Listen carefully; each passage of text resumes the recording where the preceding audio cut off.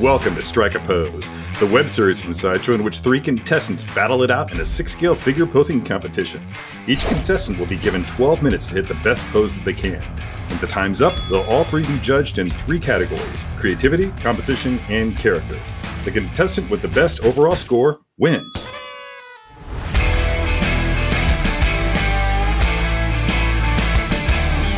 Let's meet our contestants. First up is Michael Brosnan. Next is Miss Sinister. Your clothes are black. And last but not least is Norm Chan. Bright light, bright light. Hello, Michael. Welcome to Strike a Pose. How are you today? I'm doing really well. Thank you so much for having me here. This is a dream. Oh, thanks so much for being on the show. Really, really appreciate your time. So, um, talk to us a little bit about how you think your background is going to benefit you today on the show. The reason I'm going to win today is because here I am in my workplace. This is my workplace, right? So, you know, I I, I love and uh, care for this stuff. So that's going to aid me and take me across the finish line first. One sympathizes. Yes, yes. Your sanctum sanctorum, if you will, right? Exactly. Hello, Sin. Hello.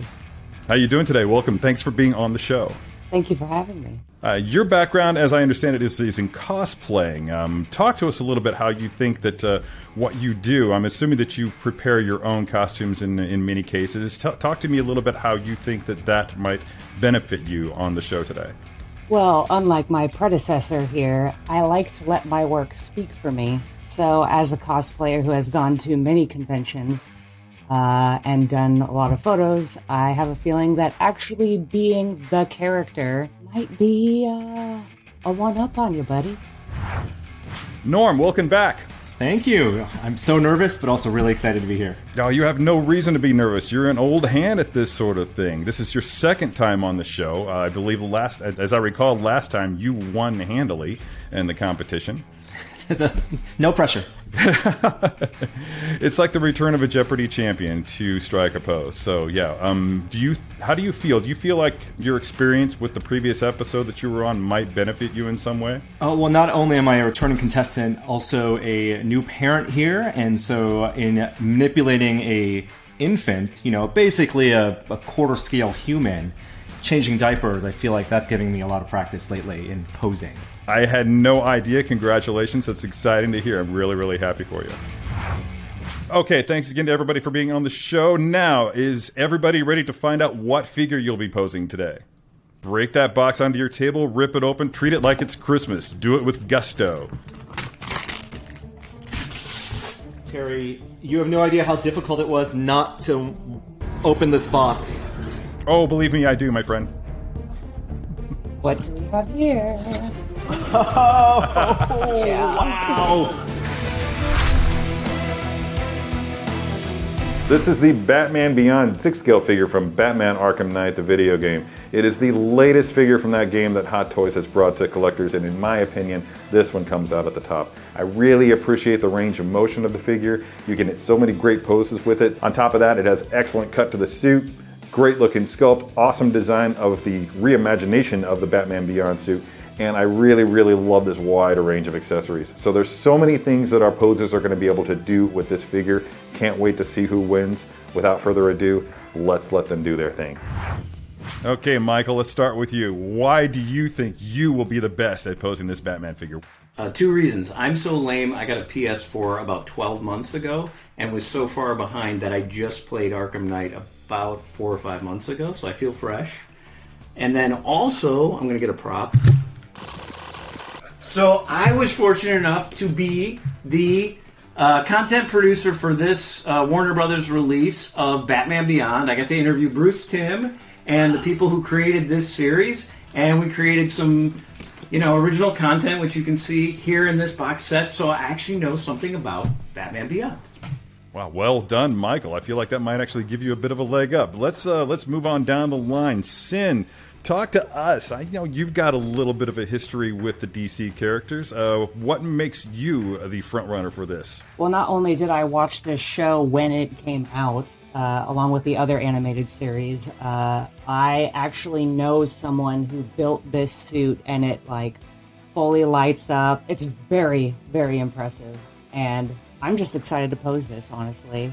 You'll get your chance. It's coming soon enough, I promise. Norm, you have a wide and varied history in the geek culture world. Uh, talk to us about what your experience with Batman brings to the table for you today. Uh, I've taken a lot of photos of cosplayers cosplaying as Batman, so that's you know positioning the camera, moving the angles, always posing them in real life. Uh, I'm unfamiliar, of course, uh, though, with this interpretation of Batman Beyond. I actually have not unlocked this skin in the uh, in, in, the Arkham games, um, so I'm just excited to get this open. I already see, unlike uh, like pointed out before, it's not like the TV show. It's a little more tactical and I'm really curious what that brings to the character. Nailed it. Yeah, very much so. All right, yeah, everyone. The boxes are awesome, but what's really, really cool is what's on the inside. So, what you waiting for? Open those things up, take everything out, and get it on the table in front of you. Let's see what it comes with.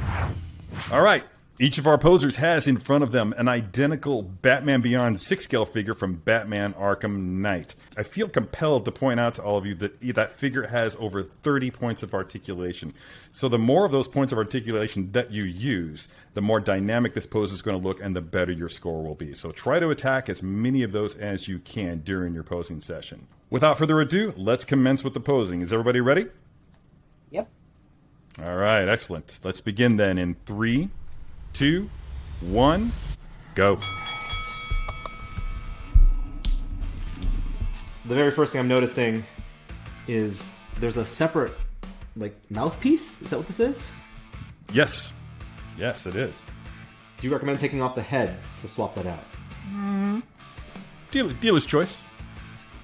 I just accidentally discovered how the cape goes on by what I thought was breaking the figure. I believe that's the very definition of a happy accident. Sin, how are you, how are you feeling down there? Uh, I will see how I feel when I get to the cape because I was just wondering how that attached myself.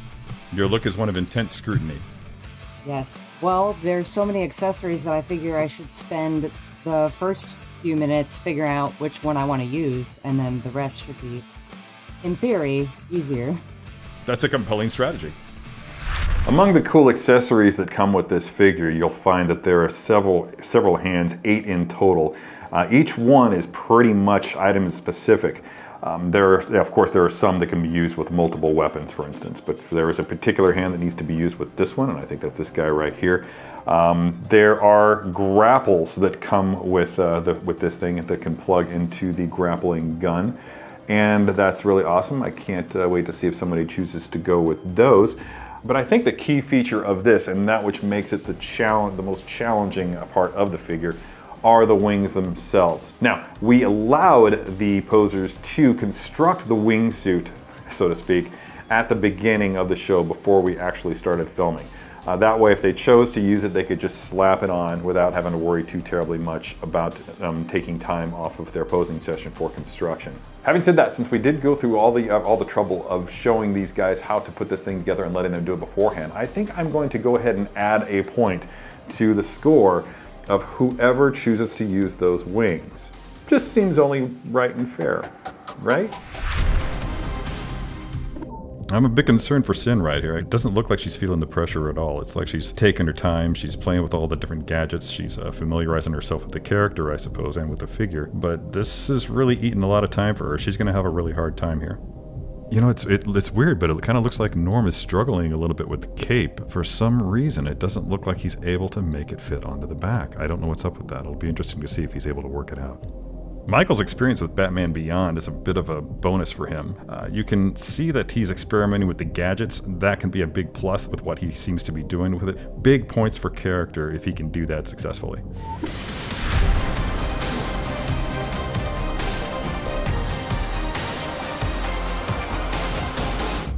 Stop posing. We've reached that point in the competition in which we throw you guys a curveball.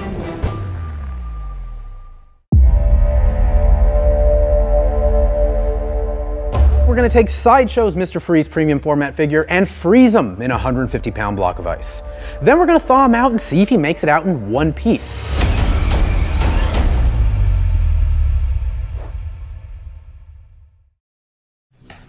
Mike, looks like you're doing something really, uh, really awesome over there? Uh, hopefully, we're hoping. Feeling pretty good about it.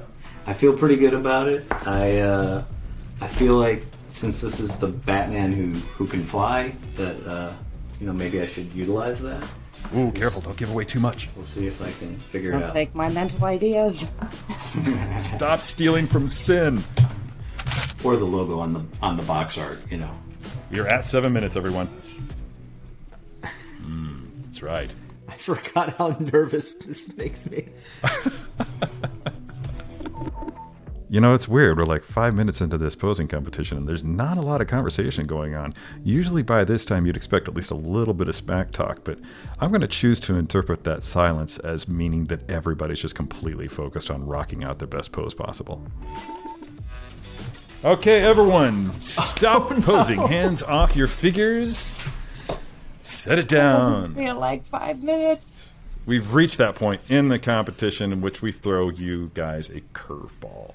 That curveball is you must use in any way at least one batarang. Okay, begin posing again in three, two, one, go. One of my uh, nightmare scenarios for doing this is swapping left and right hands and not noticing. So every time I'm plugging in, I'm making sure the thumbs are in the right place. I've been doing this for I don't I've lost track of how many years, at least a decade, and I still have those moments. Now you might be asking yourself, Terry, why did you choose the batarang for the curveball? There were so many different things that you could have gone with. Well, the reason for it is because it would have been very easy for me to go with the wings, say for instance, or with one of the guns. The batarang is so ubiquitous in Batman lore. It's in pretty much every incarnation of the character, comic book, television, film, uh, video game, what have you. Uh, that I just feel like it has to be included in pretty much any pose um, that you do of Batman. Except for this one. Definitely not this one. Norm, I'm just going to, uh, without revealing what you're doing to anybody else on the show, I just want to say that you're making me dizzy. Okay, this is exciting. It looks like Norm is going inverted with his figure. I don't think I've, I think I've seen this happen one time before on Strike a Pose, and it was to great effect. So it'll be interesting to see how he's able to make this work. Four minutes, 15 seconds, everyone. Miss Sinister, how are we doing over there? Uh, I'm all thumbs when it comes to keeping this tape on. I don't know why. The sweat from my hands is getting on the gloss black. So many shades of black. Two and a half minutes, everyone. Now, originally, Sin's waist support was colliding with the cape and making it ride really high, but she's just figured out that she can apply the waist grabber from the side. That completely eliminates that obstacle. That's really, really going to elevate her composition. Two minute warning, everyone. Coming up on the end here, and I'm kind of struggling to interpret what action Michael's figure is supposed to be taking. I'm really looking forward to the story he has to tell me. 60 seconds, everyone. I told you my delighted giggle sounded a lot like my evil laugh. All right, 10, 9, 8, 7, 6, 5, 4, 3, 2, 1. Hands off figures, everyone. Drop them. Not literally. Don't do that. Hey, Michael. Let's uh, turn that uh, turn that bad boy around. Show me what you were able to pull off there. All right, so this pose I can't take uh, 100% credit for because, you know, the thing about the Batman uh, Beyond and uh, the fact that he can fly, a lot of the logos kind of mimic that. And to me, that's the quintessential, you know, Batman pose where he's kind of just lifting off. Like the idea here is he's just, he's just, uh, you know, he's got his sights up, he's looking up towards the sky, and he literally just left the ground a few seconds ago. I love that the character can be fully in the air, you know, in flight. That's such a cool thing. Um, and he's got a batarang at the ready, of course, because uh, that's what he's going to throw before he goes to his uh, rifle. And then, in the thing I wanted to include was. Uh, in the Arkham Knight game, there's a lot of times where there are toxins released into the city, and Batman is susceptible to that. So, of course, he's got to have the gas mask on. Yeah, I was always a really big fan of that look. That's what that was one of the things that really set uh, the character apart from previous incarnations of Batman. And uh, one of the many things that drew me to him, as well as what you talked about earlier with the reflection of the bat symbol in the wings themselves. So, yeah, cool stuff. Great looking pose, Mike. Thanks. Thank you. Miss Sinister, how'd you feel about that? Oh, pretty good. I've actually only used figures with stands that are uh, like the feet have a place to go. Uh, so it was really neat working with something that not only held them, suspended them in air, but also one that was flexible. Yeah, I've always been a big fan of dynamic flight stands, so uh, yeah, any chance to implement one, I try to take it. So I did something Oh, look at that, that. was uh, trying to. I tried to incorporate a couple 45 degree angles here. One leg extended back, one arm back with a batarang. Uh, maybe he just cut himself free from something, and that's him flying like basically directly at the camera. But I thought it looked pretty interesting from a couple of different angles. That leapt straight off of a comic book panel. Yeah, very cool. I could see that on a cover. I could see that anywhere. Yeah, awesome. Norm, returning champion. Look at that. You went all inverted and stuff. Um, talk to me. Tell me the story that's happening here. Yeah, so I, I think first decision, I, I, as I said, I wanted to know what accessories I wanted to use. There's so many. I'm unfamiliar with them, so I just stuck with the standard, the grappling hook, um, which then made me think when he's going to use a grappling hook, how can I best use this dynamic flight stand? I tried the cape. I, I, like the cape, but I also like the just the, the tactical look without the cape. You can see all the straps and the armor pieces. The silhouette really reads well. Um, and so when would he not have the cape? So maybe maybe flipping it upside down. Maybe he's jumping off a building. It's great that you brought that up because one of the things that I found most compelling about Batman Beyond was the fact that Batman was running around without a cape um, being apparent a vast majority of the time, unless he was actively in flight mode or gliding or actually coming in for a landing or what have you. So seeing you address that is actually really is really an awesome idea. Not succumbing to the temptation of, of using the wings. Um, yeah, it's a great looking pose, man. I like what you've done. Thanks. Creativity. Composition. Character.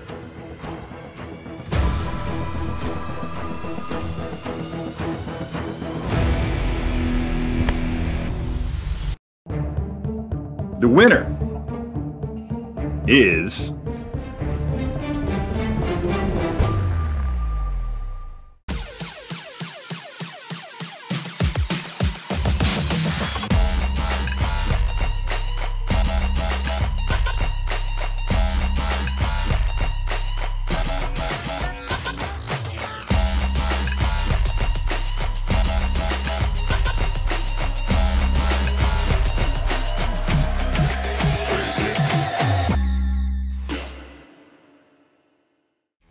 judging is complete. The scores have been tallied. The results are in. Now, before I announce the winner, I want to say that we're beginning with this episode of Strike a Pose a new caveat that we've thrown in without anybody's knowledge, and that is that prior to the show, it was determined that a particular piece that, if employed, would grant an additional point to each and every contestant that used that particular accessory. And in this particular case, I felt it was a gimme because it is such a glorious addition and unique to this character.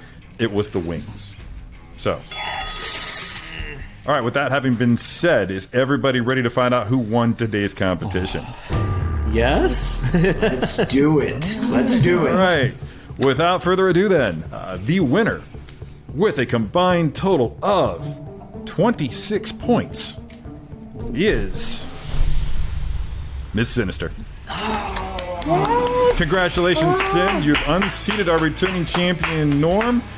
Everybody did fine jobs today, but really, that that pose really knocked it out of the park. Um, I think what really did it for me was that it legitimately is something that I would definitely want to see on display on my shelf, and I would never ever change it.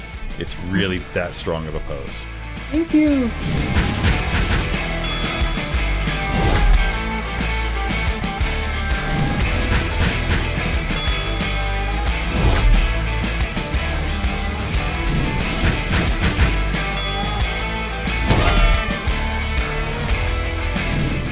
Now that our winner is being announced, I'd like to go one on one with each of our contestants and talk a little bit about their poses and what may or may not have led me to add or subtract points from the poses that we see here on the table in front of them today. And we're going to start with Michael. Hey, Michael. How's it going? condolences, man. It was a really str- it was a really strong submission, um, but uh, really Sins was just so out of the park that it's going to be that it was really really tough for anybody to compete with. So, looking at your pose here, um, I can see I saw everything that you were doing there, and it's it's really like a strong start. This is exactly the kind of situation that I would call a strong start. Like if you had like maybe five more minutes to develop it a little bit, I think that it could have been a much stronger submission. In this particular case, I think you were a victim of the clock. Uh, more than anything else, and that just wound up costing you the day. But the one thing I would call out is that that knee that you have bent, I would probably have bent that a little bit more, just really exaggerate that, like he's like he's a basketball player going for a, going in for a classic rendition of a layup, just really using that leg to just lift himself upward, give him that just little bit of extra momentum. And that exaggeration probably applies to every other limb in the pose there. Um, the uh, the gun just kind of like sitting there idly like he's casually pointing it just i would have like taken that up and just really had it just pointing upward like carrying that energy and that direction that we see that he's go- that he's going from the position of his torso just really accentuating that. And the same go- holds true for the batarang. Just like having like he's just get he's fully extended and he's getting ready to let go of that batarang just all these all these things combined would have been exactly the kind of things that would have taken that pose over the top and just made it a real real prize winner. I will spend three hours implementing your changes later this evening. Hey Norm. Hey Terry. Uh, this was very, very hard for me because uh, because you're a, you're a very accomplished figure poser, and I've seen a lot of what you've done with your your own six scale collection on your channel and whatnot, and and what you did in your previous appearance on the show. Uh, and what you've done here, everything that I said throughout the course of the of the contest was really, really on point. I liked where where your uh, the theory of it all, where you were coming from, especially as you said, insofar as the employment of the cape is concerned. I think this might be an instant where the caveat might have actually the um, the the curveball that I threw at the five minute mark might have been something that just kind of upset your pose just a little bit. As you said when you were talking about it, you could see where you tried to get that moment of right when he was really at the peak of his throw. Because of the time constraints, again, I just don't think you were fully able to achieve that. I think a lot of the elements work but they just don't work in conjunction with each other. And again, just like I said with Mike, I feel like if you had a few more few more minutes to just study it and look at it and dissect it, if you weren't racing a clock and with the stress that accompanies that, I think you probably would have really, really nailed this. It was very, very close. Yeah, and I'm going to continue working on it. nice, man. Cool. Very cool. Sin. Once more, I don't know what else I can say regarding this pose of yours. It's um it is textbook in every in every conceivable way. This is a part where I'm legitimately supposed to be coaching and actually throwing a tip out there, something that I would uh, that I myself would do in order to make it better. And I legitimately don't think that there's anything that I could do. It's an impeccable pose. Um, might be the finest one that I've seen on the show, um, it, certainly in recent memory, and I'm, I'm genuinely impressed. So thank you for coming on and, and, and gracing us with this here today. Very cool. All right, this seems like the ideal time to let everybody know at home that in previous seasons of Strike a Pose, the winner of the contest has been the sole person to walk home with the figure that they posed. But given the nature of the stay at home edition of Strike a Pose, it's probably best that we just go ahead and let all of our contestants keep the figure, wouldn't you say? So instead, the winner, in this case Miss Sinister, will go home with everlasting kudos and never ending praise.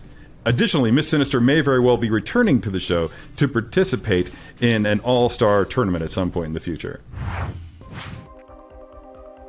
Well, just before Terry gave us the information that uh, we were all going home with this figure, I was I was ready to talk a whole lot of shit about Miss Sinister, but um, I, w- I would like to accept this figure. I'm, I'm not as mad knowing that I can go home with this. So, congratulations to Miss Sinister. I can even be gracious and say that that pose, like Terry said, is right off the pages of a comic book. Congratulations. Well, I feel like we're all winners here. Uh, I'm so thrilled to be able to continue having more time with this. Having only the 12 minutes to pose this, I went a little high concept, you know, the high tech armor, went high concept, and didn't pay off this time, but now I can spend my time appreciating the design, using all these different accessories, and yeah, maybe I'll try on that cape after all. Firstly, I just want to say that this was really rad to work with. I think I mentioned before that I am used to posing figures that kind of have a set place to be, and this was just way more fluid and gave me a lot more room uh, for creativity. And I wanted to go big with it, so I'm glad that it paid off. And uh,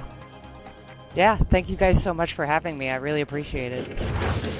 Okay, wow, that was a really awesome show. Was really impressed with what everybody was able to bring to the table during the posing session, but it was the action packed, really dynamic poses of Miss Sinister's pose that took her figure over the top and brought her into the victory lane. And it really illustrates something that's key and a critical element in figure posing in general, especially when it comes to a figure as rich and diverse as Batman, with so many different incarnations to the character insofar as his costume is concerned. When we're talking about something like the Batman Beyond figure, which has a really unique shape to the cape, it's something that you definitely want to bring into the equation. It makes it identifiable, it makes it really stand out on the shelf, and it's something you definitely want to implement going into posing a particular figure. And that's a wrap for this episode of Strike a Pose. Be sure to let us know who you thought won the contest in the comments below. Again, thanks for watching, and we'll see you next time.